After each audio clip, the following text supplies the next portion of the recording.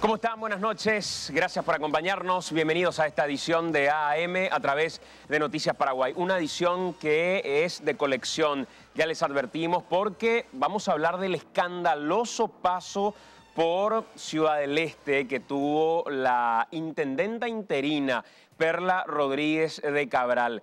Unos números que son verdaderamente lapidarios, pero que solo son una especie de avant premier, por llamarle de algún modo, Enrique, a lo que viene antes, que es la administración de Sandra Zacarías. Si nos asusta la cantidad de funcionarios que dejó la administración de Perla Rodríguez, lo que va a ser el festín que va a saltar de la administración de los Zacarías Irún, ni queremos imaginarnos. Y nos visita hoy, en esta edición de AM, el intendente Miguel Prieto, quien trae los documentos, los números, junto a su jefa de recursos humanos, junto a su brazo derecho en el ámbito administrativo y financiero, para contarnos de los escándalos en números en Ciudad del Este. No, realmente lo de, Ciudad del Este es eh, tremendo, ¿verdad? Cuando entrevistamos a Miguel Prieto allí a punto de asumir, decimos, bueno, por fin terminó la película esta de Ciudad del Este y por fin terminó el escándalo, vamos a enterarnos ahora seguramente de cosas que hizo Sandra Zacarías. Bueno, y aparece el nombre de Perla Rodríguez de Cabral, una mujer que tendría que haber dejado flotando a Ciudad del Este durante el tiempo que le correspondía, preparar la ciudad para unas elecciones y nada más que eso, ¿verdad? Era una mujer que estaba, pero absolutamente de paso en ese poder y lo que hizo fue realmente tremendo. A ver, esta, esta mujer no debería estar en libertad, pero ni un segundo más y ustedes van a darse cuenta de por qué estamos diciendo eso. Hicimos una investigación recogimos todos los números, lo que fueron tirando en la semana desde Ciudad del Este, tenemos otros números nosotros también, algunos casos que son demasiado curiosos. Bueno, van a conocer quién es Perla Rodríguez de Cabral, qué hizo en ese breve tiempo que estuvo al frente de la Municipalidad de Ciudad del Este y les aseguro que van a quedar así de sorprendidos como estamos nosotros, que es un escándalo gigantesco en un país y en, un país donde ya estamos acostumbrados a casos de corrupción, a un Oscar González Daer, etcétera, etcétera. Bueno, les cuento que acá estamos hablando de una corrupta clase A. Lo que van a ver esta noche es impresionante. Además de esto que vamos a desarrollar en esta edición de AM, vamos a mostrarles una historia verdaderamente fantástica. Una historia que llega desde el Chaco paraguayo, específicamente desde Bahía Negra. Y apenas un adelanto, el que vamos a hacer hoy en realidad, de una verdadera travesía de nuestro equipo periodístico, pero una travesía que ni siquiera se acerca a lo que diariamente le toca vivir a compatriotas en la zona del Chaco paraguayo.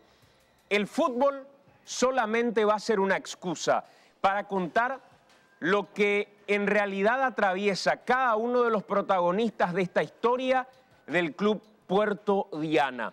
El equipo de nativos que el jueves va a ser su debut en la Copa Paraguay y que a través de cada uno de los testimonios nos permite contar todo lo que vive una comunidad entera. Parte del equipo periodístico se trasladó hasta ese lugar. Ricardo Alderete nos va a contar detalles de lo que fue inclusive algo, Enrique, que llevó a la necesidad, después de más de un día de haber viajado, de la necesidad de ser rescatados por un equipo de la Marina. En medio de la lluvia, en medio de la nada, con un vaqueano inclusive que ya estaba desorientado en un momento determinado, prácticamente llevado por el viento, por la torrencial lluvia que tuvieron en un momento determinado y parte de ese testimonio lo vamos a tener esta noche en AM. Así mismo, es para tener, no sé, una película con cinco partes más o menos, ¿verdad? Sería la, primero la partida de los muchachos, el equipo de AM que fue hacia allá y hasta llegar a Bahía Negra. Bueno, ahí tenemos una película, pero de sobra, de sobra, con, con, con, con un inicio, con un nudo, con un desenlace. Y después toda la historia de estas personas. Ahí están viendo ustedes la cancha donde entrenan eh, este equipo que se llama eh, el equipo de Puerto Diana, ¿verdad? Que nos sorprendía, un equipo de indígenas de Bahía Negra. ¿Cómo van a hacer para llegar hasta Itagua, donde debutan el jueves? Y tendrán que pasar por exactamente lo mismo que pasó el equipo de AM, una travesía que nos dejó preocupados toda la semana después de entrenamientos intensos en esa cancha. Miren lo que es la cancha. Allá hay chanchitos a los costados, después tienen que dedicarse a la caza, a la pesca, no para vender, para subsistir. Bueno, ya nos van a contar de esa experiencia tremenda que tuvo el equipo de AM, que fue hasta ese lugar. en una- un programa especial que estamos preparando y que vamos a mostrarles un adelanto esta noche. Solamente un adelanto de lo que es esto, imágenes que de por sí ya impactan. Es parte del entrenamiento y quien estamos viendo en este momento en imágenes de cacería es uno de los jugadores del Club Puerto Diana. La historia, les repito, es una historia verdaderamente increíble, una historia que emociona, una historia de un trabajo periodístico tremendo del equipo de AM que vamos a tener la posibilidad de proyectarlo. Hoy apenas en un adelanto y el próximo domingo con sorpresas que ustedes ni siquiera se imaginan, porque esta va a ser una semana en la que el Club Puerto Diana va a traer historias desde el Chaco paraguayo y nos va a decir a todos los paraguayos, aquí estamos nosotros, aquí está el Chaco paraguayo y a través del fútbol están sus historias. Pero de eso vamos a hablar en un momento nada más, porque repito, hoy parte de lo que no es ficción, parte de lo que es realidad pura, parte de lo que sucedió en Ciudad del Este, en exclusiva con nosotros, su intendente Miguel Prieto. Lo que encontraron en las finanzas, en recursos humanos con una Yolanda Paredes a quien quieren sacarla apenas tomó el cargo de directora de recursos humanos, es realmente impresionante. Números que vamos a mostrar, Enrique, en un trabajo que realizamos con el equipo periodístico, impactan Sí. y asustan. Así mismo. Eh, realmente es eh, una locura. O sea, fue entrar, ella entró a la municipalidad y se dedicó a meter gente, a gastar dinero, a comprometer cosas que no podía, sabiendo que estaba hasta junio. Y ahora el combate es contra una rosca, ¿verdad? La Junta Municipal que ya dio un mensaje político al decirle al intendente, mira, tú, viene tu director de recursos humanos a prohibir que se tome tereré, vienen a controlar, bueno, vamos a pedir que se le saque. Eh, ¿Sabes cuántos funcionarios por día contrató Perla Rodríguez de Cabral? A ver, Te voy a decir durante el programa. No te pero te adelanto que es realmente impresionante. por día. Por día. Hicimos un número, hicimos un cálculo, incluyendo feriados, porque imaginamos que trabajó feriados, imaginamos que trabajó domingos para poder meter tanta cantidad de gente. Se van a sorprender al saber cuántos funcionarios por día metió esta mujer a la municipalidad eh, de Ciudad del Este. ¿Qué esperaba ella? Que nunca se descubra nada. ¿Qué endeudada está la municipalidad de Ciudad del Este hoy en día? Si es que se mantiene este mismo ritmo pago de salarios, ¿hasta qué mes pueden llegar? Habrá un mes donde tendrán que decir, señores, tenemos que cerrar la municipalidad. Ciudad Este se queda sin municipio por falta de dinero, por falta de presupuesto. Bueno, les vamos a contar de qué se trata y ustedes van a ver en números de qué estamos hablando. ¿Te parece si compartimos el primer informe que tiene que ver con Ciudad del Este? Antes de hacer la pausa ya de entrada, parte del informe de lo que vamos a debatir con su intendente, con su encargada financiera, con su directora de recursos humanos en esta edición de AAM. Ciudad del Este, Enrique, en números. Una ciudad que de alguna u otra forma es sin duda la segunda ciudad más importante de nuestro país en cuanto a cantidad de pobladores, en cuanto a envergadura del municipio también, y que escandaliza la forma en la que utilizaron sus recursos en todo este tiempo. Así es. Y mira que acá hay una cuestión que la gente tiene que saber también. Gracias a que todo, todo el país prácticamente, lo que percibíamos nosotros de acá de Asunción, mandaba- fuimos a Ciudad del Este varias veces y no consta, que la gente estaba muy pendiente de lo que pasaba en Ciudad del Este. El escándalo de los Zacarías, gente en las calles, bueno, a vos te consta, ¿verdad? Que estuviste Sí. allí también con manifestaciones, con una presión desde acá, desde el presidente, vicepresidente. Llega Miguel Prieto a la Intendencia y se puede percibir como un relajo, ¿verdad? Eh, también se entiende que la, la ciudadanía que sale a las calles, que se manifiesta, es como que ya estará cansada. Bueno, a todos ellos les invitamos a ver este informe, a, estar atentos al programa de hoy, porque realmente hay como un blindaje que necesita en este momento tener, la, la ciudadanía tiene que aportar blindaje a un proceso de depuración que se está aparentemente empezando a hacer. Ciudad del Este, en este informe que lo vamos a debatir con su propio intendente.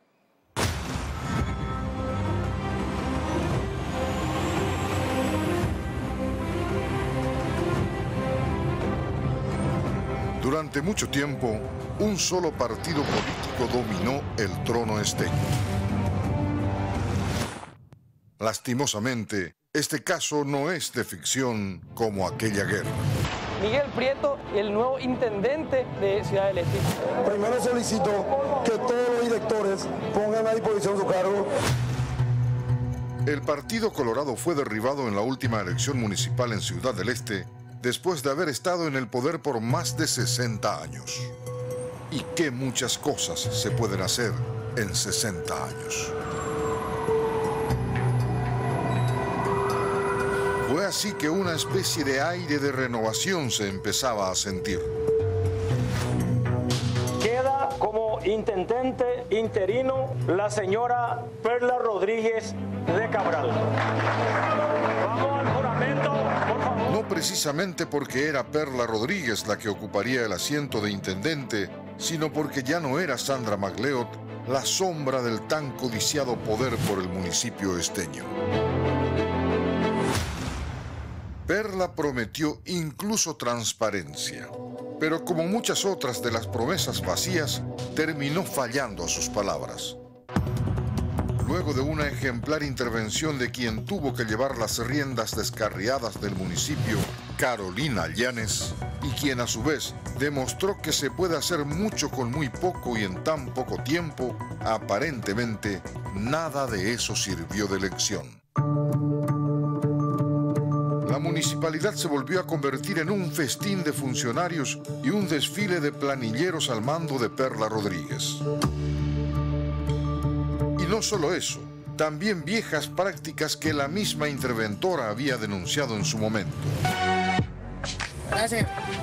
Esquemas de coimas y extorsión que estaban perfectamente sincronizados entre agentes policiales y terceros, quienes, a costa de un tráfico infernal, que ellos mismos provocaban, le cobraban a turistas y esteños un dinerito extra para agilizar el paso a la frontera.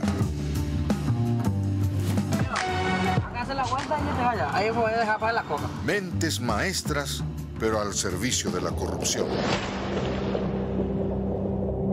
Perla Rodríguez siguió siendo servil a un modelo que, lejos de estar al servicio de la ciudad, llenaba bolsillos particulares y se encargaba de llenar el barco municipal con cuanto pasajero sea posible, incluso si eso implicara hundirse en el trayecto.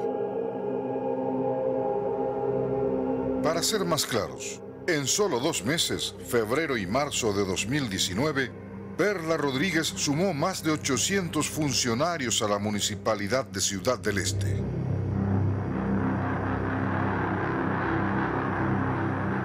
Ojalá fuese un chiste, pero no lo es. La nueva intendencia de Miguel Prieto se encontró con la cifra más actualizada, oficial y alarmante. 2.732 funcionarios que no se sabe muy bien qué es lo que realmente hacen. 10 mil millones en deudas solamente de la administración Perla Rodríguez de Cabral. En dos meses endeudaron 10 mil millones eh, a proveedores y a obras. Acá ni siquiera entramos todavía a ver los 18 años de administración de, Javier Zacarías Irún. Hoy prácticamente se ha utilizado el 50% ya de nuestro presupuesto, cosa que significa que no llegamos a agosto en pago de salario y menos de aguinaldo. Significa prácticamente una quiebra técnica de la municipalidad. Todo esto dejó Perla Rodríguez de Cabral en solo tres meses de gestión. Un festín de planillerismo y de funcionarios que no representan más que el corrupto sistema prebendario que hace desangrar al Estado a costa de favores políticos y codicia desmedida por el poder, que ciega y egoístamente detiene el progreso y le pone un ancla pesada a las espaldas de una ciudad que se ve imposibilitada de crecer por culpa de unos pocos que llegan al poder y que terminan afectando a muchos que lejos del poder son los que siempre terminan pagando los platos rotos.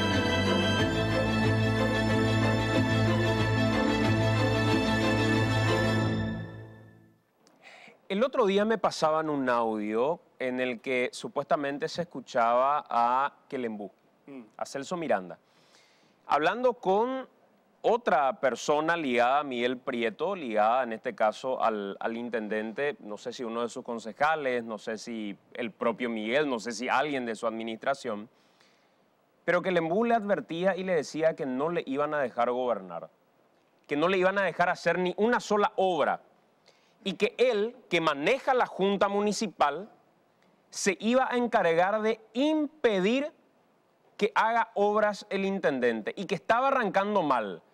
¿Y por qué estaba arrancando mal? Y porque se estaba metiendo con la gente a la que se contrató durante este tiempo. Por momento decía yo soy un bandido y por otro momento decía yo no soy un bandido. Y otra vez decía yo soy un bandido y tengan cuidado conmigo y después decía yo no soy ningún bandido, yo no soy ningún corrupto. Kelembú, un hombre que honestamente amó personal y particular, creo creo que debería seguir algún tipo de tratamiento para tratar su, cuestión ligada al alcohol. Un hombre así no puede eh, exponerse y exponerla a todo un municipio. Y de verdad me resulta preocupante que alguien con ese problema termine teniendo abruptos como los que tuvo y que vemos en el momento en el que se pretendía sacar o hacer al menos un censo de quiénes son funcionarios y quiénes no de la municipalidad. Y también la policía allí, ¿verdad? Nos decía la, directora de Recursos Humanos, siete policías para 1.500 funcionarios nerviosos, que algunos que están a punto de perder sus trabajos, y siete nomás tenían que encargarse de todo. Y allí aparece Celso Miranda, evidentemente para alterar, alborotar todo, generar nerviosismo, impedir que se pueda avanzar con eso, ¿verdad? Impedir que se pueda seguir gastando la plata de, todos los esteños y de todo el país, de hecho, porque hay cuestiones que, eh, impuestos a nivel general que van a Ciudad del Este, una ciudad demasiado importante para el comercio, hay mucho que entra por Ciudad del Este y que beneficia a todo el país, etcétera, etcétera. Y también, eh, otra cosa que yo no entiendo y me sumo a lo que decís, ¿verdad? ¿Qué, qué más tiene que hacer Celso Miranda para eh, ser procesado por algo? O sea, cualquiera de nosotros que haga la mitad de lo que de una de las cosas que él hizo y va a estar en la cárcel. O sea, un hombre que agrede en la calle, que, genera problemas en la vía pública, incluso hay una denuncia muy, muy grave eh, de una mujer hacia él eh, por algo que hizo estando alcoholizado en la calle. Esto que entró, pegó, le amenazó de muerte a una persona, eh, le agredió a un senador en unas elecciones y está libre. ¿Cómo, ¿Cómo puede seguir amenazando y haciendo lo que se le da la gana? ¿verdad? Repito, cualquiera de nosotros hace la mitad de una de esas cosas que mencioné y estaría en la cárcel hace rato. Y una junta municipal que ya desde el primer día de gestión de Miguel Prieto empezó a poner palos a la rueda. Y lo hacen muy abiertamente. El otro día tenía una discusión en radio con Neri Chávez, el concejal, presidente de la Junta Municipal, que ya contaba que empezaban a hacer pedidos de informes sobre su administración a Miguel Prieto, cuando todavía ni siquiera arrancó oficialmente, digamos, la gestión, apenas están posicionándose en el lugar y encontrando cuánto escándalo encuentra uno a medida que va caminando, cantidad de recepcionistas, cantidad de gente y lamentablemente a veces gente que de verdad hace el trabajo, cuando hay 12, 15 en una mesa de entrada, como nos decía Yolanda Paredes, en medio de esas 15 personas probablemente una o dos hagan el trabajo de todo el resto y ha de ser un mal momento el que terminan pasando, pero no existe otro camino más que visibilizar el escandaloso fraude que están haciendo con el dinero público, como para que a partir de un censo y a partir de un análisis de quienes trabajan en realidad en el municipio de Ciudad del Este, se pueda quedar la gente que moja la camiseta y que permite que con toda la plata que robaron de este municipio, siga caminando. Así mismo, la preocupación de los concejales está más por conservar cómo está el sistema ahora, de meter gente por favores políticos, que gente que ni siquiera va a trabajar, el planillerismo y por eso que están con estas medidas, ¿verdad? con estas advertencias que son públicas, se animan a decir en la radio lo que están haciendo, a mandar notas pidiendo informes sobre eh, la directora de recursos humanos o sobre el intendente, porque el mensaje es, político, es, claro el mensaje político, por eso que necesitamos que, o, creo que de, de, verdad hay que entender el problema, lo, que, lo grave de lo que está pasando en Ciudad del Este, para que la ciudadanía también sepa hacia qué lado jugarse, si reclamar a sus concejales lo que están haciendo o reclamar al intendente lo que están haciendo. Ya cada uno decidirá. Preparaste, Enrique, algunos números que tienen que ver con la municipalidad de Ciudad del Este y que queremos poner en contexto esto como para partir de esa información conversar qué es lo que se va a hacer desde el municipio y sobre todo cuando tenés a un intendente que no tiene un soporte de gobernabilidad en la Junta, porque ese soporte de gobernabilidad implica pactar con la Junta Municipal. Así mismo. Y pactar con la Junta Municipal significa ser preso, secuestrado de la Junta Municipal, como es lo que le está pasando a Mario Ferreiro en Asunción. ¿Cuántos funcionarios en Asunción? ¿7 mil? ¿Hay algo? Claro, y cuando todos pensábamos que Mario llegaría, patearía el tablero y de alguna manera tomaría este mismo camino de visibilizar los escandalosos montos que se utilizan en la Junta Municipal, con la cantidad de personal que tienen, asesores que tienen y un montón de cosas más, Mario, con la intención de gobernar, terminó pactando con esa Ah, Junta. Totalmente, totalmente. Entonces, el Yo camino que lo mismo. el- Es más, y ya dijo, yo hago eso y que el que venga, el que venga ahora va a terminar haciendo exactamente lo mismo. Claro, entonces el camino que nos muestra Miguel Prieto es o pacto con la Junta o me alío y me abrazo a la gente. Y si la gente no se moviliza sosteniendo es. esta gestión, probablemente lo coman frito y ni pueda soñar con la posibilidad de quedar como intendente de Ciudad del Bueno, Este. la Junta, con una mayoría, en un momento logró tumbar a los Zacarías. O sea, ellos fueron los que promovieron dos veces una intervención y allí comenzó la historia. O sea, esa Junta tiene fuerza. Pero tiene fuerza cuando la gente tiene más fuerza todavía y sabe direccionar hacia dónde tienen que comportarse sus representantes. Ahora están poniendo palos en la rueda en un proceso que la gente en Ciudad del Este votó. Por eso es que creo que la gente debería empezar a terminar ese descanso movilizador y empezar a reaccionar de vuelta. Miremos estas placas con algunos números que nos van a situar en Ciudad del Este. Sí. La ciudad que está recibiendo su intendente actual. Bueno, vamos a repasar algunos números en este trabajo que hicimos con nuestra compañera Paola Miranda. Municipalidad de Ciudad del Este. Partimos de la administración de Carolina Llanes, que comenzó el 5 de diciembre de 2018. ¿verdad? Todavía ni vamos a entrar más adelante de eso a lo de Sandra MacLeod. Ella entró a la municipalidad y había 1.949 funcionarios. Sí. ¿verdad? Vamos a la siguiente placa. Todos son datos oficiales de la municipalidad. Carolina Llanes, en enero, digamos, eh, había 1.564 funcionarios. O sea, 400 por ahí salieron en ese mes entre diciembre y enero, durante Sí. el mes de diciembre. Febrero ella cierra con 1.767 funcionarios, o sea, hasta la mitad de febrero. Como que entraron de vuelta a 200, más o menos 200 fue la cantidad que logró reducir ella durante ese periodo de intervención Sí. hasta el 12 de febrero. Vamos a la siguiente placa. Y ahí arranca la administración interina, el interinazgo de Perla Rodríguez de Cabral, el 13 de febrero. Ella entra, como les decíamos, con 1.767 funcionarios, que es lo que le dejó Carolina Llanes. Vamos a la siguiente. Fíjense, febrero, 1.767. Marzo sube a 2.438. En abril baja un poquitito a 2.362. Y en mayo, o sea, entre abril y mayo, vuelve a subir a 2.732 funcionarios. Y que conste que solamente estuvo hasta la mitad de mayo. Sí. O sea que en esa parte final, y justo en la época de campaña, justo en la época de campaña, fíjense la cantidad de gente que metió. Empezó a firmar una cantidad de contrataciones que da calambre. Pero desesperadamente, justo en la etapa preelectoral en Ciudad del Este. Ahí están los números. En la siguiente placa se entiende mejor porque tenemos un gráfico inclusive. Fíjense, marzo ahí abajo, 671 funcionarios nuevos. Abril 76, bajó un poquitito. Vamos hasta mayo, 370, lo que nos da esos 2.700 y algo que mencionábamos recién. Sí. Fíjense en mayo cómo explota en esos 13 días. Es impresionante. Vamos a la siguiente. Y acá lo que te decía hace rato. En esos 90 días de gestión metió un promedio de 9 nuevos funcionarios por día. Incluimos domingos, incluimos los feriados, Día de la Madre. 9 funcionarios por día contrató Perla Rodríguez de Cabral. Y si redujéramos este número a los días hábiles, la cifra sería todavía más escandalosa. encima tuvimos dos, eh, tres, cuatro días de feriado con los domingos. Bueno, nosotros le dimos esa, le sumamos inclusive eso a ella, ¿verdad?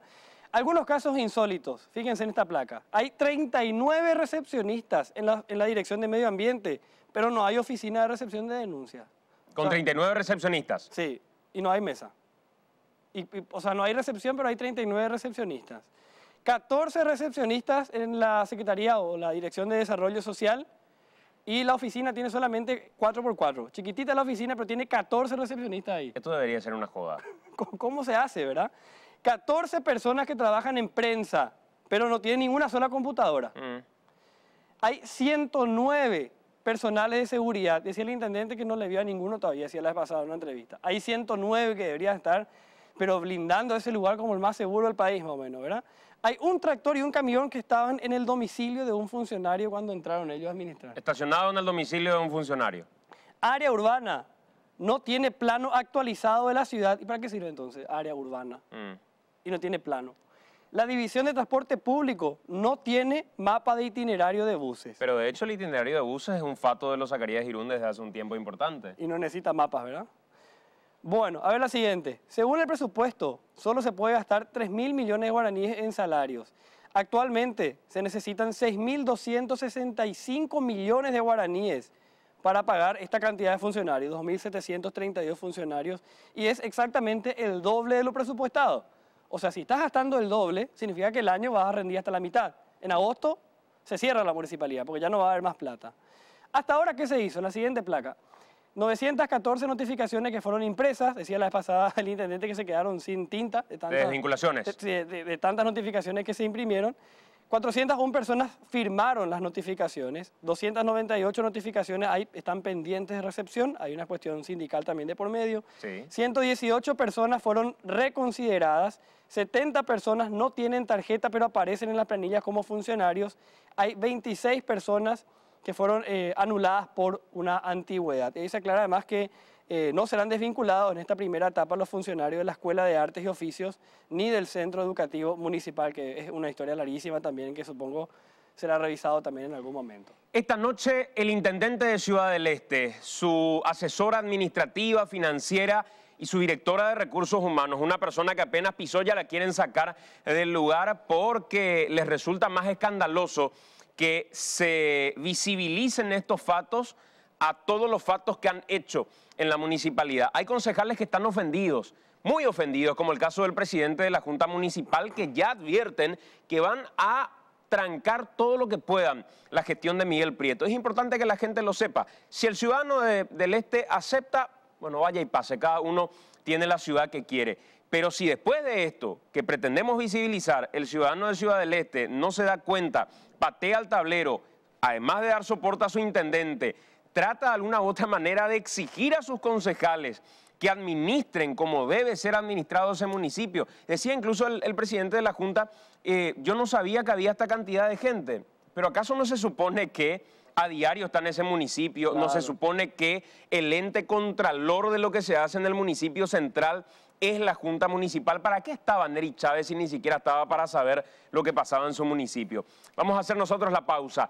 A la vuelta de la pausa nos acompaña la plana mayor de la Municipalidad de Ciudad del Este. Nuestro hashtag AM en las redes sociales. Si nos están viendo desde Ciudad del Este, en Facebook también pueden observar en vivo la transmisión del programa. Por supuesto, la señal de aire de Canal 2. Ahí nos encontramos a través de cada uno de los cables operadores también. Hacemos la pausa, venimos en breve.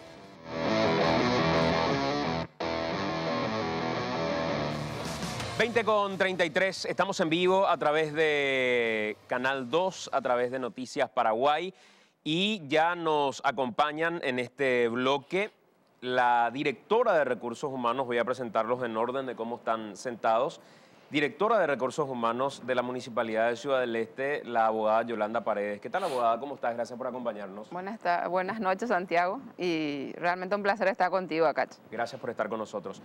Agradezco también, y, no creía cuando en el Twitter me decían, hoy no, no, no se va a ir el intendente porque está internado.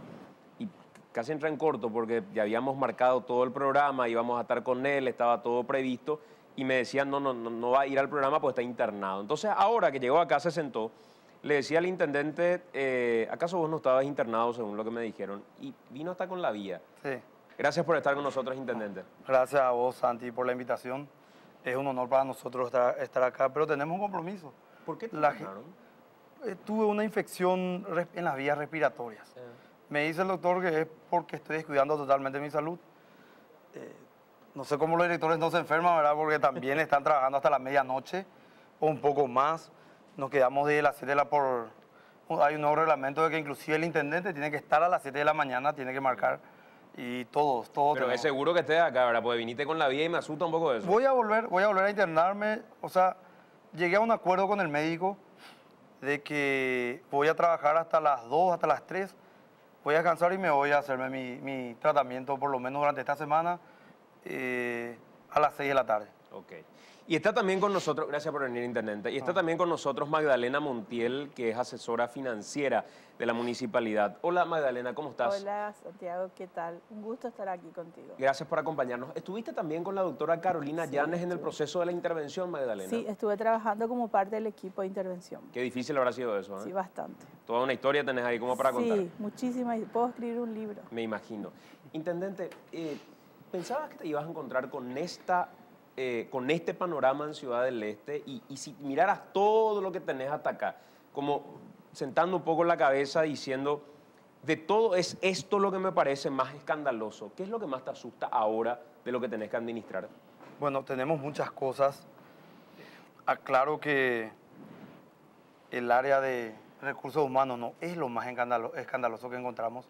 Hay cosas mucho peores que, como te dije fuera de micrófonos, tendríamos que esperar una o dos semanas, semanas más, hacer un análisis más exhaustivo para poder eh, denunciar con pruebas contundentes. Tenemos muchas cosas que estamos encontrando, pero como establecimos como una prioridad lo de, lo de comenzar a desvincular a planilleros de la era Perla Rodríguez de Cabral, debido al, al, al excesivo hacinamiento de funcionarios, esto fue lo que explotó, ¿verdad? Pero tenemos muchas cosas. Esto es solamente el principio. O sea, el, el, escándalo que para nosotros es el tema de la cantidad de gente que está hoy cobrando plata de la municipalidad o que ingresó como planillero o planillera, mirando lo que tienen ustedes en números, no es lo más preocupante y lo más grave. No, no, no, no es. Tenemos eh, muchos delitos cometidos en el ejercicio de sus funciones en el área, por ejemplo, área urbana, tiene más de 600 no, en el área urbana, 628 funcionarios. ¿Para qué llamamos a licitación? Para obras, si tenemos 150 obreros contratados que durante 20 años están cobrando eh, salario y no te, mueven, no, te, no, te, levantan un solo muro. O sea, la municipalidad tiene su propio obrero, tiene sus propios obreros. Tiene 150 obreros entre, entre obreros, maestros de obras, que están albañiles, pidiendo a gritos algo que hacer. ¿Para qué llamar licitación? Para construir baños, escuelas, empedrados. O sea, son cosas que te das cuenta de cómo se maneja el sistema. yo no sé ni qué empresa vialera tiene esa cantidad de funcionarios, por ejemplo, contratados pagando todo el tiempo. ¿Esa gente que fue contratada ahora o que ya estaba desde antes de la municipalidad? Son funcionarios antiguos. Inclusive algunos están envejeciendo, envejeciendo sentados ahí, sentados sin hacer nada. Ellos quieren trabajar. Ellos, ellos no dijeron, queremos trabajar. Creo que vamos a tener que cambiar de a poco el sistema de trabajo de la institución municipal eh, la licenciada Magdalena, acá mi asesora financiera, nos dice de que es posible eh, preparar los proyectos. Tenemos muchos arquitectos, muchos buenos planificadores que, podrían estar planificando unos contratos abiertos, comprar los materiales y comenzar a hacer las construcciones. Y ya no comenzar a, a jugar con las licitaciones y las empresas amigas. Lo mismo queremos hacer con el tema del asfalto, ¿verdad? Por eso buscamos la planta de fabricación de asfalto. O sea, en lugar de licitar, cosa que sí estaban haciendo de todos modos, estaban licitando para adjudicar a empresas que construyan eh, escuelas, que construyan eventualmente caminos. La municipalidad tiene su propio plantel de 150 albañiles, maestros de obras, etcétera. Así mismo, así como suena. Así como suena. ¿Cómo encontraron eso, Yolanda? ¿Cómo, cómo fue para que digan, bueno, en este tiempo dijiste vos, yo me instalo acá y empiezo a buscar, ¿ya tenías alguna sospecha de hecho o cómo fueron encontrando? No, la verdad que el compromiso nuestro justamente acá con Miguel Prieto fue promesa de campaña, la depuración de funcionarios. Yo creo que es una prioridad que la ciudadanía nos pida gritos y nosotros tenemos el compromiso de cumplir como prioridad absoluta. El tema de los planilleros y de gente que van cobrando en la municipalidad es algo que es secreto a voces. Todo el mundo ya sabía, lo que no teníamos eran las pruebas. Entonces nosotros teníamos que empezar eh, realmente a, mirar, a mirar dónde estaban la gente y fue fácil detectar, ¿verdad? Digamos, en un sentido porque aparte el patio estaba lleno de gente. Era imposible que esas personas estén en condiciones normales ya que no cumplían absolutamente funciones. Entonces eh, fuimos depurando de a poco, eh, inmediatamente casi también diría yo. Pero el, el número de 150 albañiles, maestros de obras y compañía, ¿Cuánto significa en términos presupuestarios para la municipalidad? ¿Cuánto dinero va al pago de estas 150 personas? Hoy en día todos están ganando salario mínimo 2 millones 100 mil. Eso es otra, otra de las herencias de los Cabral, de la señora Perla Rodríguez de Cabral. Eh, son 150 por 2 millones de guaraníes mensuales, son eh, prácticamente 300 millones al mes solamente en salarios. Y eso multiplicado por 13, porque la mayoría son jornaleros. Jornaleros le dicen porque son contratados, o sea, dentro del rubro presupuestario jornales, ¿verdad? Y son multiplicados por 13, serían allá por los 3 mil millones al, al año. 3.100 millones al ¿Hay año. algún registro, Miguel, de, de algo que hayan construido? Como para decir, No, no hay. es nuestro equipo civil de obras, lo que quiera llamarle, pero eh, construyeron una gruta en la municipalidad, hicieron una, eh, un, no sé, un monolito en la plaza, algo. No hay nada. No, no hay nada. No hay nada. Tenemos 628 funcionarios en área urbana, entre arquitectos, eh, planilleros, obreros, ingenieros civiles, eh, 628 funcionarios. Se llaman licitaciones para todo, para absolutamente todo. Inclusive están llamando a licitaciones para, para controlar las obras Para elaborar proyectos. para elaborar proyectos. Siento que tenemos arquitectos, planificadores ahí sentados. O sea, que es un despilfarro total. O sea, que eso no es lo más escandaloso. Tenemos inclusive ya amenazas por parte de una mafia organizada hacia nuestro director del medio ambiente. Medio ambiente creo que es un caso emblemático, ¿verdad? que todavía no se estuvo hablando. 717 funcionarios. Ahí en donde hay 39 recepcionistas. Medio ambiente. Creo que es el área que menos funciona en la, en la institución municipal y tenemos, tenemos de todo. 719 funcionarios para medio ambiente. Medio ambiente. ¿Y qué hacen? ¿Cuál es el rol que tienen? Están ahí sentados. ¿no? Eh, bueno, ahí tenemos muchos casos, como por ejemplo, eh, una de las divisiones que tengo acá, me ayuda a memoria, Sí. Las tasas por faenamiento, por ejemplo, comprobamos que solamente ingresa el 30%. Pero se, se cambió de canal. Eh, la dirección de la subdivisión de faenamiento tiene contacto directo con la intendencia. O sea, ya no pasa el filtro de- del director del medio ambiente. O sea, lo recaudado por faenamiento va directamente para la corona. Eso pudimos corroborar también con el trabajo de Marco Valderete, que es nuestro director de... de- no, existe un filtro, sino que lo- los fiscales directamente se van a rendir al intendente cuánto recaudan. Ustedes habían constatado, Magdalena, en el momento que hicieron la intervención, toda la plata que era recaudada por la municipalidad, pero que no llegaba a la municipalidad.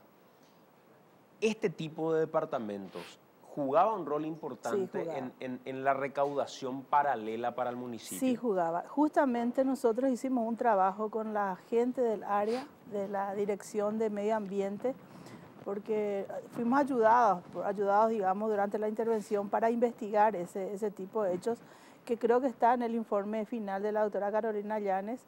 Lo mismo, eh, la, la emisión de certificados, eh, eh, de certificados de antecedentes, eh, ¿cómo se llama?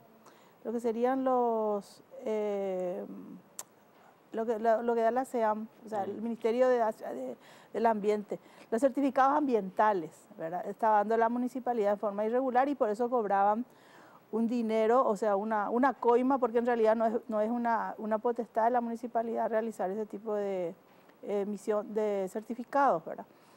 Y eh, eso no se hacía, no entraba en la municipalidad, eso llevaban directamente las personas, los encargados del área. Ellos firmaban por esos certificados. ¿Por qué? Porque la que controlaba es la municipalidad. Entonces, una vez que ellos tenían ese certificado, ya estaban, digamos, liberados de contar con las licencias ambientales. Las licencias ambientales que son, digamos, emitidas por, la, por el Ministerio del, del- del Ambiente. ¿Encontraron roscas, clanes familiares que están instalados en Ciudad del Este, Miguel? Encontramos, o sea, debido al poco tiempo todavía no encontramos todos, pero encontramos muchos clanes familiares, como el que ya se sabía públicamente, el clan Molinas. Te puedo dictar, ahora te puedo leer quiénes son. Están acá. Vamos a poner como base a Aida Molina, que es la más emblemática. Pa- Para la gente que de por ahí no, no está familiarizada con lo que es Ciudad del Este, ¿Quién es Aida Molinas? A mí, a mí me tocó en, en medio de una de las coberturas que tuve que se me cruzaba enfrente todo el tiempo, que gritaba en el momento que se hacía una pregunta incómoda, entraba en escándalos. Era un personaje pero sin, sin nombre. ¿Quién es Aida Molinas en Ciudad del Este? Eh, funcionaria de ultra confianza de primer anillo del clan Zacarías. Eh, una persona muy violenta por ser mujer, obviamente. eh, vivía con un garrote en mano y le amenazaba a todo el mundo. ¿verdad? Y nadie podía tocarla. Nadie podía tocarla, nadie podía tocarla. Eh, también está su hermana, que es Castorina Molinas, que ya está a disposición, a disposición de recursos humanos, eh, que, que es prácticamente la heredera, ¿verdad? Cuando fue desvinculada a ella Molinas, con una jugosa indemnización, queda su hermana Castorina Molinas como, como la segunda al mando. Tiene fueros sindicales, pero está ahí, es una de las que está encabezando las turbas que, que molestan un poquitito a esta administración y que buscan truncar el progreso de, de varias direcciones. ¿Y Aida Molinas cuánto cobraba? Cu- ¿Cuál era el dinero que, que disponía para ella de la municipalidad? Ella fue muchos años la directora de Desarrollo Social, la que más funcionarios tiene en la institución municipal. Ella era, yo, yo creo que tiene un salario de 7 millones. Tres- oh, no, ella salió ganando 5 millones 400 mil, Cinco 3 millones. millones 400 de sueldo y una bonificación de 2 millones mensuales. ¿Y la indemnización de cuánto fue? La inde- indemnización creo que fue 75 millones. En- casualmente cuando salió la intervención, o sea, cuando la Cámara de Diputados resuelve hacer la intervención, ellos renuncian, o sea, renuncian o le, le- le liquidan. En realidad no, está muy claro eso. En- justamente en esas fechas varios funcionarios del primer anillo de la señora Sandra Zacarías habían, habían tenido sus indemnizaciones. ¿verdad? Y eh, además de la gente que metió a esa, a esa unidad, ¿quiénes son los integrantes de su familia que están dentro de la municipalidad? Castorina Molina Ramírez, que es hermana, la sindicalista. Juan Carlos Molina Ramírez, Todos esos son hermanos. ¿quién es? Todos los Ramírez. Ya. Molinas Ramírez. Ah, ok. Juan Carlos Molina Ramírez, hermano, entonces. Sí. Daisy Lorena Molina Toledo, Sobrina. sobrina. Marcia Soledad Molina, Sobrina. sobrina. Sonia Raquel Molina, Molina Carrera, sobrina. Roland Javier Molinas López, Marcelo Fabián Molinas Molinas, Diana Montserrat Molinas Ramírez, Esa es su hija, hija. Elvio Molinas Ramírez, hermano. hermano. María Cristina Molina Ramírez, hermana. Ricardo Raúl Molinas Ramírez, hermano. Débora Concepción Molinas, Hija de. Hija. hija. Derlis Ariel Molinas, Hijo. hijo. Y Elvio Fabián, Fabián Molinas. O sea, Sobrino. 14 personas que estaban ligadas a esta señora. Con razón era tan fanática de los Zacarías Irún y con razón la defendía a muerte a Sandra Zacarías. 14, eh, ca- 14 acabo de contar yo, no sé si 14. es el número correcto. No, tenemos más, tenemos más. ¿Eh? Falta la familia del novio, La familia del novio de, Aida Molina. que también estaba dentro de la municipalidad. está, también está. Está. no, Está, estaba, está. Están ahora. A ver. Actualmente. A ver, a ver eso. ¿Dónde está el novio acá? Este es Cristian. Cristian Ariel Orquiola Flor, el novio de Aida Molinas. Celsa Flor de Orquiola, mamá, La mamá del novio. la mamá del novio. Daisy Marlena, Marlene Orquiola Flor, hermana del novio. Julio César Orquiola Martínez, papá del novio. 14 de su familia más 4 de la familia del novio. Sí. Y después está todo el... Tenemos otros clanes. Antes de entrar nomás a los otros clanes, Aida querida, eh, recuerdo el escándalo que armaste cuando fuimos a hacer aquella cobertura frente a la casa de los Zacarías. Una cobertura que pretendía entrevistar a Zacarías frente, no, no frente a su casa, en su casa. A Sandra en su casa. Y mientras nos venían con la historia de que eh, no sabía si iba a hablar, no sabía si iba a hablar, al final sobre los 45 nos convocan y eso tenía un escenario listo y dispuesto con toda la batucada puesta. Y recuerdo hasta hoy, porque de verdad me, marcó muchísimo esa cobertura, cuando una persona se me acercó y me dijo, Fuerza Santiago, nosotros estamos acá obligados. Y Aida, pero corría de una manera increíble detrás de los Zacarías, impidiendo, impidiendo Que te hablen. que se le haga alguna pregunta incómoda a Sandra. Cuando empezamos a hablar de los departamentos que tienen en Brasil, armó un escándalo, gritaba. Es una persona efectivamente violenta, pero escandaloso, Aida, la cantidad de dinero que tenías ahí con, la- con- con dinero que te hacías del municipio. Y que se hacía hasta tu novio con plata del municipio. Con razón. ¿Dónde está esta gente ahora? ¿Ya está procesada? ¿Está de alguna manera denunciada? Después le quiero preguntar a, a Yolanda, que, que además es abogada, ¿qué camino se toma legalmente con esta gente? Si hay algún camino que se pudiera llegar a tomar. O en el caso de, de Perla Rodríguez, si hay un dinero que está comprometido para algo, con esta cantidad de funcionarios que deben ser contratados, al hacer estas contrataciones masivas, ¿a qué se expone una persona que es la, la, la- la mujer que debería administrar sin lesionar esa confianza la cosa pública? Pero hay otros clanes de sí, intendente, que también están en la municipalidad. Sí, sí. Me estaba olvidando, no tengo acá listado los jugadores de 13 de junio, del cual Aida Molina es presidenta.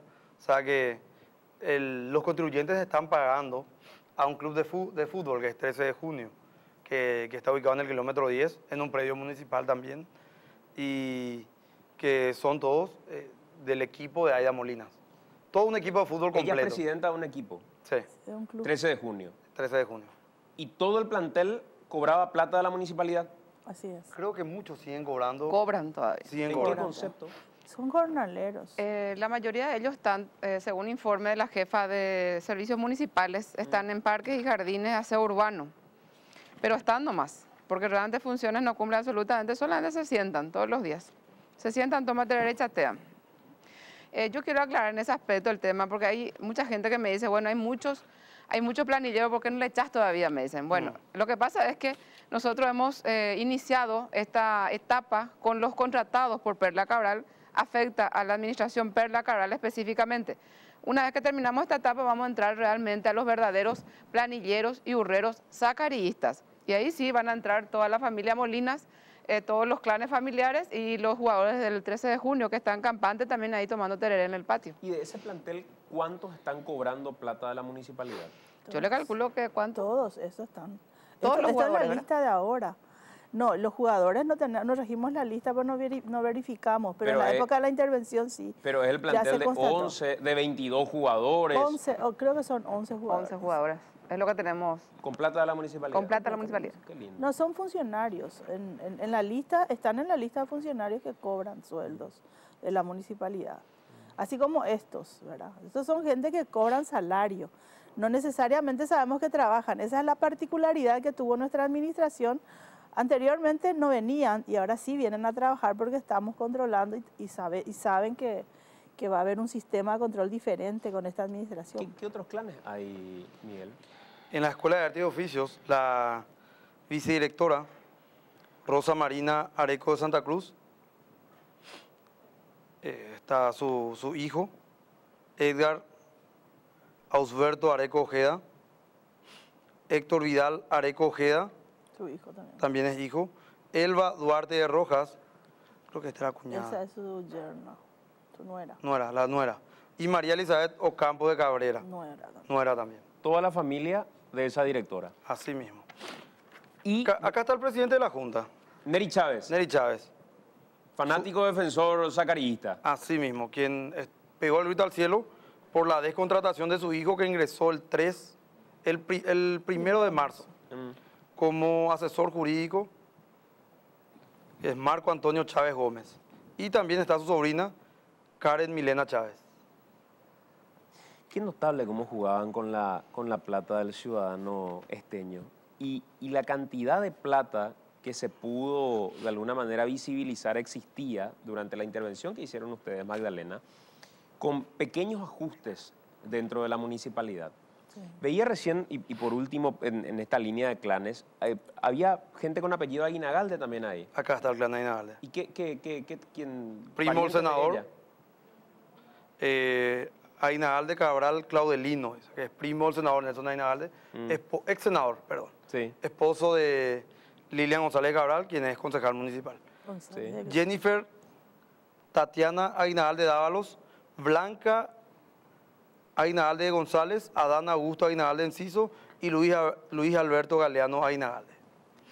Todos, ahí pueden ver inclusive los salarios que tienen, todos parientes de, de la concejal Lilian González Aguinalde. Así estaban reventando el presupuesto público en, Ciudad del Este. Y hoy, de la plata que tienen disponible, eh, Magdalena, si, miráramos la caja, porque me quedó nomás esa frase de, de Kelembú diciendo no le vamos a dejar hacer obras. No sé con quién hablaba, pero tengo ahí el, el audio. Eh, no le vamos a dejar hacer nada. ¿Cuánta plata disponen para inversión y cuánto dinero hay comprometido ya para el pago a funcionarios? Bueno, nosotros realmente dinero no tenemos. Eh, nosotros recibimos con, con la- en, el, cor- en el corte administrativo eh, 5 mil millones de guaraníes que habían en las cuentas del banco. No sé si manejas lo que pasó con el banco. También solicitamos una, un bloqueo. ¿Qué- ¿Qué pasó en el banco? Eh, las informaciones que nos llegaban era que ellos la intención era vaciar y pagar todas las cuentas y todos los contratos que habían hecho lo antes posible. Y el- esa, esa información nos llega el día 8, 9, perdón, 9 de mayo. Eh, entonces, a través de un recurso de amparo, ¿verdad, Yolanda? Se, y se solicitó el bloqueo de la cuenta para que no se sigan pagando sumas multimillonarias. Em, y eh, si, si, ese, si nosotros no hubiéramos hecho ese, ese, blo- ese bloqueo de la cuenta, nosotros no hubiéramos recibido ni un, eh, de recursos propios, ni un guaraní prácticamente, ¿verdad? Salvamos Pero- los 5 mil millones. Sí, y salvamos 5 mil millones. Mm.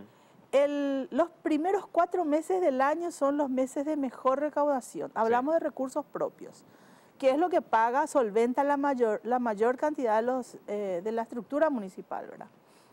80 mil millones de guaraníes desde enero a abril fueron, desaparecieron. Solamente quedaron los 5 mil millones que serían los últimos, las últimas recaudaciones del mes de mayo. ¿Cómo, cómo desapareció? ¿Cómo se entiende? Y se gastó todo, se gastó todo. ¿En qué? Se gastaron, hubieron muchos gastos grandes. Uno de los gastos más grandes que se hicieron fueron el pago a la empresa eh, Ingeniería Ambiental, que es la encargada del, del mantenimiento del vertedero privado. Se, eh, se pagó 8.500 millones aproximadamente, para darte una, una información así bien precisa.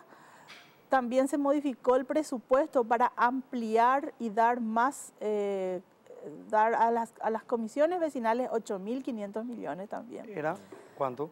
83, co- eran 1.050 millones y la Junta le aprobó una ampliación de 10.000 millones para transferencias a comisiones vecinales. En época electoral. En época, ele- o sea, durante la, durante la administración de la, de la señora Perla. Esto- estos 8.500 millones a los que hace referencia Magdalena, eh, recuerdo haber conversado con Carolina Llanes y ella me contó la forma en la que durante la administración que tuvieron en la intervención presionaban incluso al punto de hostigarla en el hotel, yendo al lugar en el que ella desayunaba, para obligarla a firmar el cheque para la empresa encargada de la disposición final de los residuos. Así es.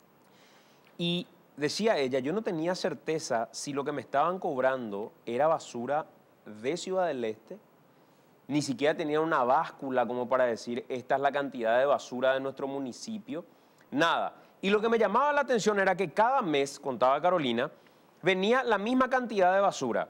En diciembre teníamos la misma cantidad de basura que teníamos en febrero del Así año es. anterior, como si estuviera estandarizada la cantidad de basura que se recogía o que tiraba la, la gente. Entonces era desde ya increíble, pero sorprendía cómo presionaban para que se firme ese cheque. Sí, Se impidió durante la administración que tuvieron que se firme el cheque. así es. Y ahora en la administración de... Perla se pagaron todos, inclusive los del año. Prácticamente están al día porque se pagó una cuenta anterior de 4.500 millones y 4.000 millones ya de este año. ¿Y quién Y son, y son cuatro meses, prácticamente mil millones al mes, ¿verdad? Mil, mil millones al mes se le paga a la empresa, eh, o sea, mil millones al mes se va a la basura, le digo yo siempre al intendente, ¿verdad? ¿Y quién está detrás de eso, Miguel? Tenemos entendido que son algunos ministros de la Corte, Ministros de la Corte. ministros de la Corte Suprema de Justicia. Se tendría que hacer una investigación exclusiva con relación solamente a disposición final de, de residuos. Si me permiten, es, Sí. es un- una concesión que se hizo a una empresa privada. Son una concesión de 10 años. eh, la concesión total es de 95 mil millones y prácticamente serían 9.500 millones al año lo que deberíamos pagar, ¿verdad? Según el contrato. O sea, si, si dividimos, si prorrateamos los 95 mil millones por 10 años, son 9.500 millones al año. ¿Esa es la empresa que es un hijo de ministro de Corte? Es. ¿De quién? Creo que es de, no sé cómo se llama el hijo. ¿verdad? Blanco. Blanco. Sindulfo Blanco es el ministro de la Corte. Ex ministro de Corte. Ex ministro de Corte. Y el, el- el- el dueño es el diputado. No sabemos. No sabría Sindulfo- decir. Sindulfo tiene un hijo que es diputado. Hay una representante, la señora eh, Adelaida, Adelaida, no recuerdo el nombre, ella es la, la representante de la, de la empresa la que, la que se va y cobra el cheque, ¿verdad? Es muchísima plata. Mucha plata. Muchísima plata. ¿Y qué pensaba hacer en la municipalidad, Miguel? Vamos a rever el contrato. Es que nos centramos en, to- en una primera etapa en... No, porque cuando, cuando te Sí. pregunto, cuando te pregunto qué pensabas hacer, lo que digo es, ¿cuál es tu plan maestro, Miguel? Porque con la Junta no vas a contar. O tendría que hacer en algún momento lo que decía hace rato hizo Ferreiro. Yo no voy a- Sentarte, levantar el teléfono con la Junta y decirle, denme aire y denme luz. Y ya sabes lo que significa eso. Sí. El precio de tu, de tu gobierno es transar, negociar con la Junta Municipal. ¿Vos estás dispuesto a hacer eso? No, no, no. Cueste lo que cueste, no voy a sentarme a negociar con la Junta Municipal. Voy a seguir recostándome, pidiendo apoyo de la ciudadanía. Lo que el, el- el camino que decidimos seguir es entrar a romper todas las roscas mafiosas, incluyendo si la Junta está metida, eh, porque es, lo único, es el único camino que nos queda. Y si tenemos el respaldo de la gente, va a ser mucho más fácil. Va a ser, yo sí iría a la Junta Municipal a demostrar públicamente y abiertamente cuáles son los proyectos que vamos a ir presentando, de modo a demostrarlo de manera transparente y que la Junta por lo menos tenga, tenga la, la dignidad o las ganas de decir esto corresponde, esto no corresponde, porque sentarme a, a dialogar con la Junta a puertas cerradas sería comprometer todo el dinero de la ciudadanía. ¿Y ya te propusieron hablar fuera de alguna conversación pública? Ya, ya, ellos se sienten ofendidos, hablan de, de que estoy mal asesorado, hablan de que soy una persona soberbia, intransigente, pero yo fui concejal, yo sé cómo se maneja la Junta Municipal y ese manejo institucional de la Junta no le conviene actualmente o no le conviene nunca a un municipio.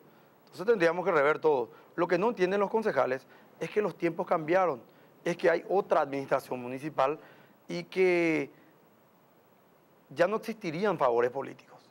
O sea, los favores políticos se acabaron. Acá tenemos que sentarnos a ver qué es lo que necesita urgentemente y si eso implica que salgan todos los planilleros que mantienen la estructura de uno u otro concejal, pues bien, que salgan todos.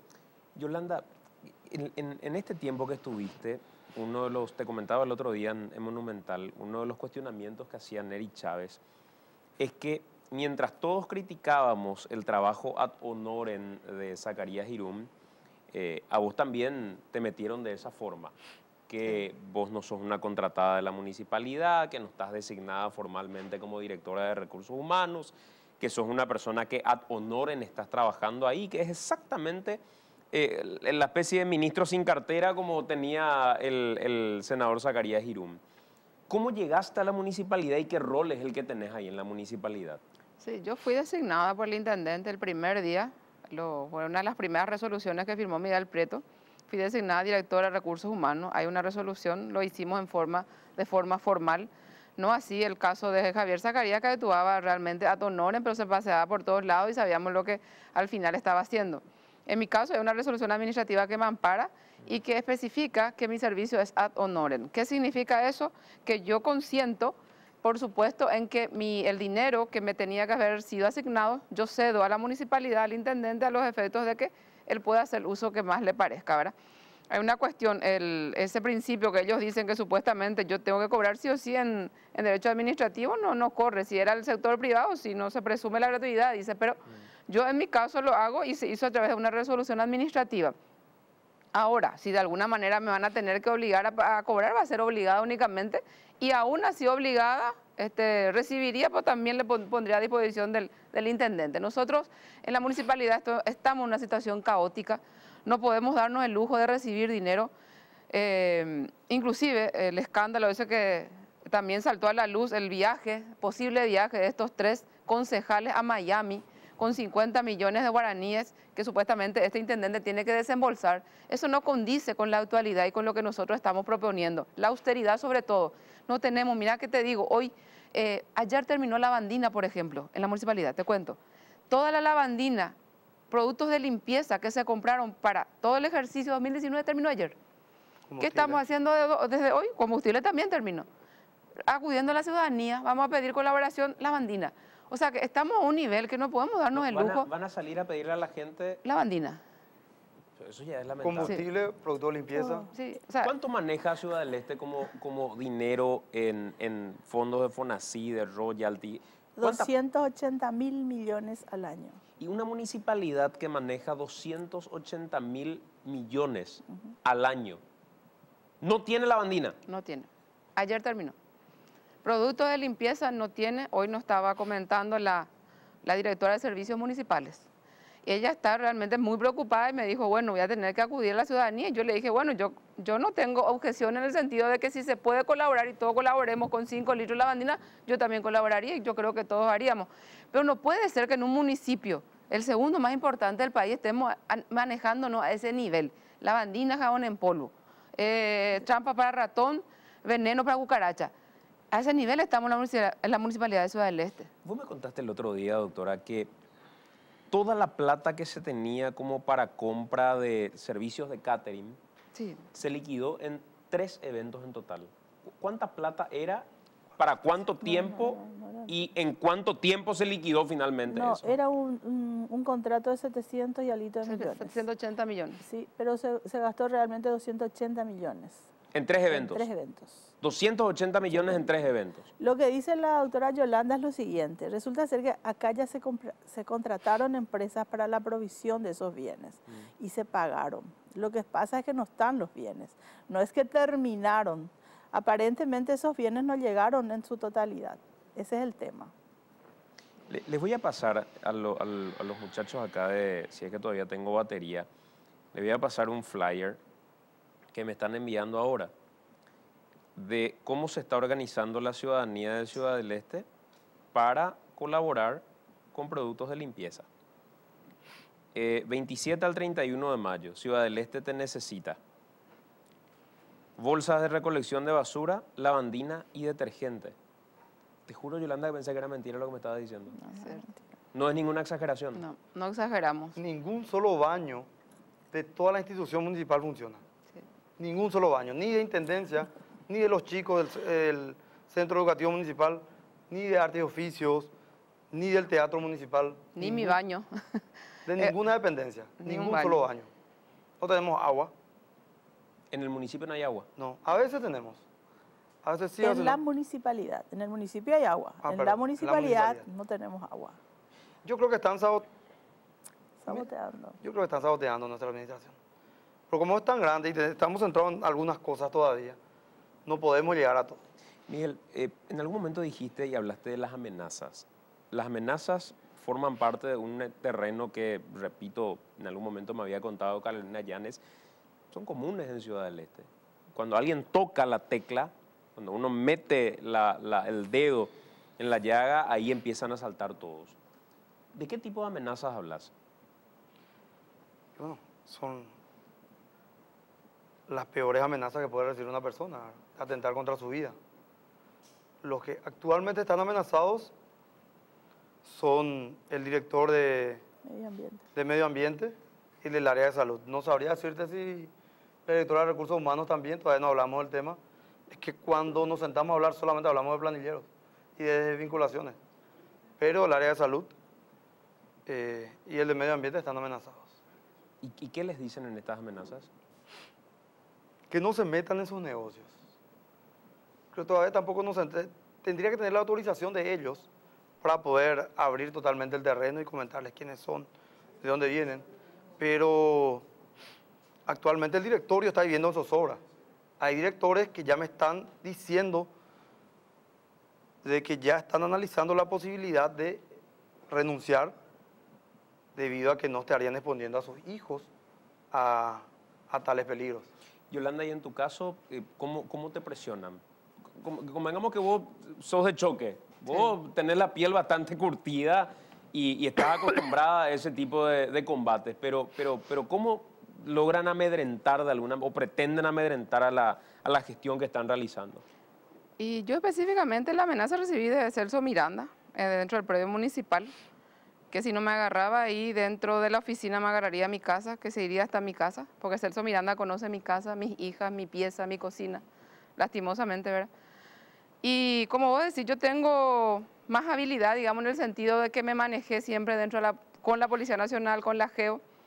Eh, ellos están ahora custodiándome permanentemente. Este, tengo frente a mi oficina una patrullera, tengo servicio Policía Nacional Femenina conmigo cuando recorre las oficinas y por la calle también, ¿verdad? frente a mi casa patrullera. O sea que realmente estoy, pero nos da gusto poder vivir así, ¿verdad? Yo nunca viví así y por el simple hecho de querer hacer el trabajo y querer hacer lo que la ciudadanía me encomendó, yo tenga que vivir de esa manera, creo que no es justo. Yo creo que ellos están calmados ahora en el sentido de que estamos muy custodiados de alguna manera y la Policía Nacional nos está, digamos, rodeando mucho, pero no podemos descuidarnos. En cualquier momento todos estamos expuestos ahí adentro.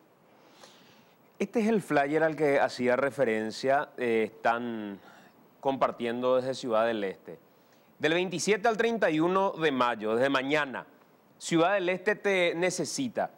Nuestra municipalidad quedó sin recursos y apelamos a la ciudadanía para que los servicios de limpieza sigan funcionando.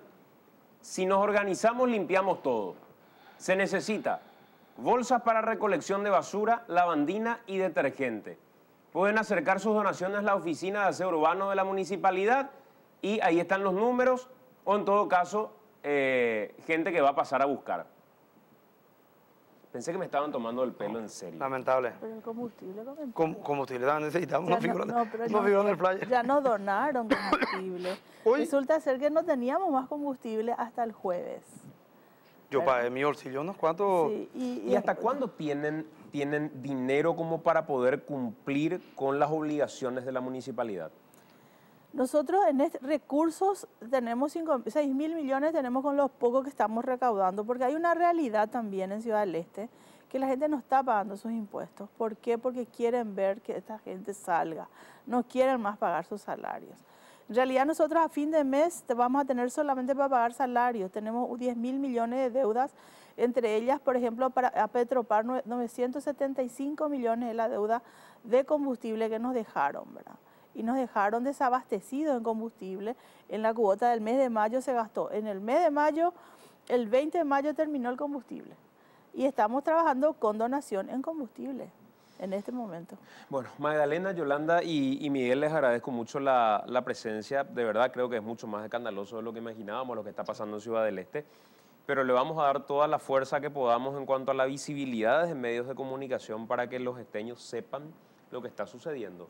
Y de última, si no tienen el apoyo de la Junta Municipal para visibilizar estos casos de corrupción, que al menos la ciudadanía sepa lo que está pasando en su municipio. Gracias por venir, Miguel, a pesar de la, de la vía y a pesar de, de estar ahí en un proceso casi de internación. Sí, es un compromiso. Como dije, la gente tiene que saber lo que está pasando. Eh, aprovechamos esta plataforma para poder llegar a la ciudadanía. Eh, no vamos a ser cómplices de, de todo este despilfarro del dinero público. Ni siquiera entramos todavía a la administración Sandra Magleo de Zacarías. Creo que esto se pondrá peor. Entonces, lo mejor que podemos hacer es que la ciudadanía sepa trabajar con transparencia y seguir firmes. Agradezco muchísimo a- a- al directorio que, que está trabajando, que está haciendo hasta lo imposible. Estamos aguantando como podemos. Y a la gente, a la gente que nos está apoyando, que se acerca y nos dicen, conse- eh, intendente, eh, directores, qué es lo que necesitan. De cierta manera estamos, estamos aguantando, pero no sabemos hasta cuándo. Gracias, Miguel. Gracias, Yolanda. Gracias. Gracias, Magdalena, por estar con nosotros.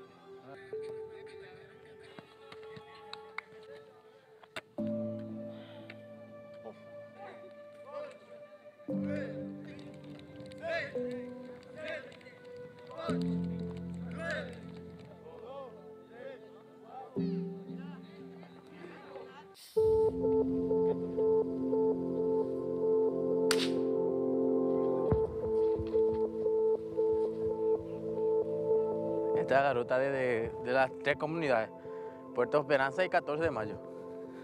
Y acá ya no hay más cómo transitar. No hay opciones para llegar, sino que solamente bote. Y de esto, en cualquier emergencia, cualquier emergencia sí o sí tiene que venir, sino por bote o a pie. Antes eh, caminaban a pie, venían acá. Acá, si era urgencia y eso.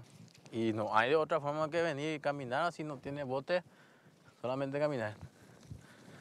Es, sí o sí tiene que llegar al, destino de Bahía aquí es la principal, o algún enfermo y eso. Es difícil. Sin el camino da, no, ni la ambulancia no puede salir.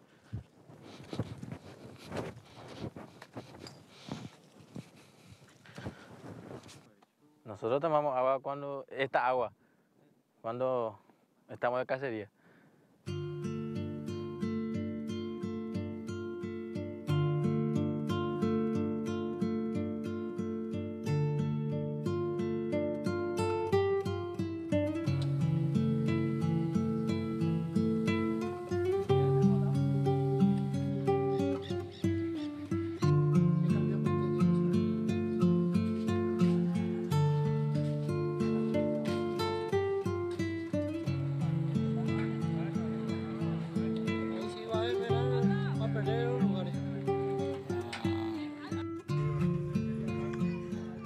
Bueno, estamos acá con Ricardo Lerete, que estuvo en ese lugar. Y te preguntaba recién, Ricardo, eh, fuera de aire, la historia de quién estábamos viendo ahí, el cazador, que al mismo tiempo es... Es arquero del equipo Puerto Diana, un equipo nativo de Bahía Negra que desafía absolutamente todo lo imposible.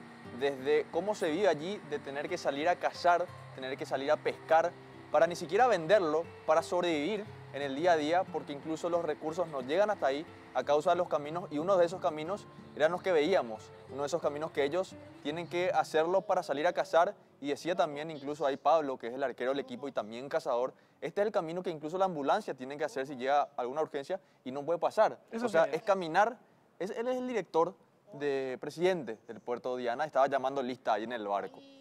Entonces, esa es la situación que viven ellos allí, tratando de desafiar absolutamente todo lo imposible y tratando de sobrevivir en medio de eso y en medio de entrenamientos que a su vez los llevó hasta la Copa Paraguay Claro, que juegan el es como que se ve la, la épica, la heroica de ver a estas personas que llegaron hasta este torneo, que van a venir acá a jugar nada más y nada menos que una cancha donde se ha jugado Copa Internacional alguna vez, la cancha del 12 de octubre de Itagua, pero de paso conocemos un poco la historia de lo que es vivir en esa zona del Chaco Paraguay. ¿Y qué es lo que vamos a ver, Ricardo, el próximo domingo? ¿Qué nos va a mostrar este documental en el que inclusive tuvieron que, en pleno camino a Bahía Negra, ser rescatados por la Marina?